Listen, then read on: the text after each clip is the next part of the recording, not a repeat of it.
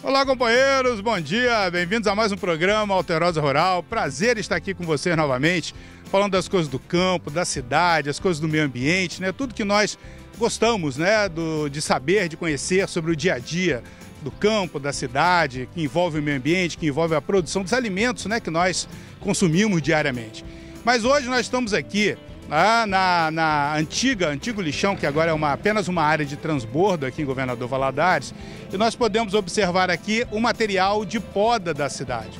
Então, Governador Valadares é uma cidade extremamente arborizada, com milhares, dezenas de milhares de árvores espalhadas pelo centro da cidade e também pelos bairros.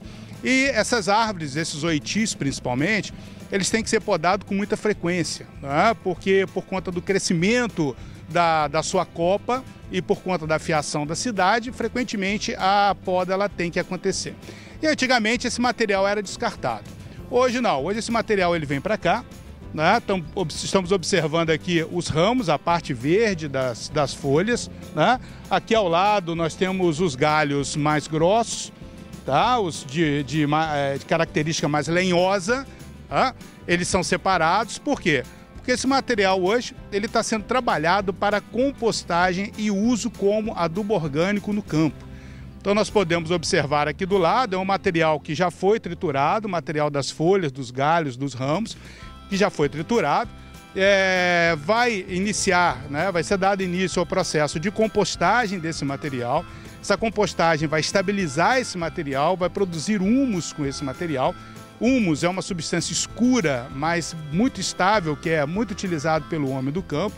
E é esse material, rico em matéria orgânica, rico em nutrientes, que vai ser distribuído gratuitamente ao produtor rural, que está sendo distribuído gratuitamente para o produtor rural. Então nós podemos observar que é uma a, a, ideia de reaproveitar esses ramos, esses galhos é extremamente interessante, porque nós temos que imaginar o seguinte: nós todo gestor municipal, né, qualquer cidade, ele tem que pensar hoje o seguinte, em cidade sustentável, em desenvolvimento sustentável. Então, eu tenho a questão das árvores, que elas são extremamente importantes nas cidades mais quentes, com maior incidência solar, por conta do, do, conforto térmico da população, mas eu tenho a questão da manutenção dessas árvores. E a manutenção gera isso aqui, ó, gera esse resíduo de poda. Né? Uma quantidade muito grande de material verde, material lenhoso.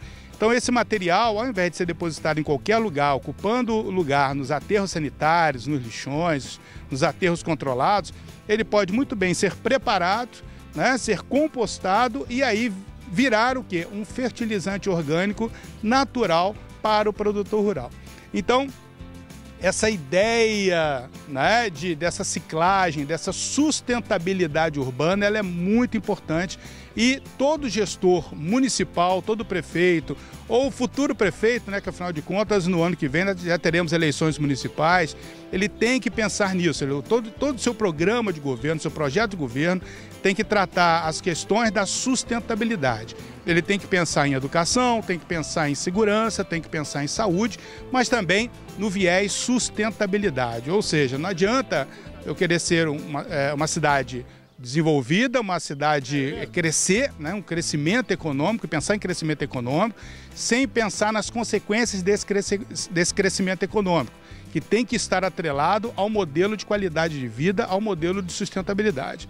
Então, é, a cidade aqui de Governador Valadares tomou esse viés e agora está aqui. São dezenas de toneladas diárias de materiais, dos materiais de, de poda de árvores, né, que são aqui agora preparados para uso como fertilizante orgânico, principalmente distribuído principalmente para o pequeno produtor rural, que é aquele produtor que mais carece de recursos para adquirir é, adubos químicos, né, aqueles adubos concentrados que hoje, por conta do dólar e por conta da inflação, estão extremamente caros. Então, está aqui um programa que é bastante interessante para as prefeituras, né, para se pensar num futuro, nem a longo ou médio prazo, mas sim a curto prazo. Né? Já pensar basicamente o quê? Tenho árvores na minha cidade, então tem como a, a me beneficiar desse processo. Eu tenho que contratar gente para podar árvore, obviamente, e o que, que eu vou fazer com esse material? Está aqui, ó, compostagem para distribuição para o homem do campo, para melhorar a qualidade de vida não só do homem do campo, mas também a qualidade do alimento que ele produz, ok? Então, companheiros, um abraço a todos e até a nossa próxima semana. Até lá!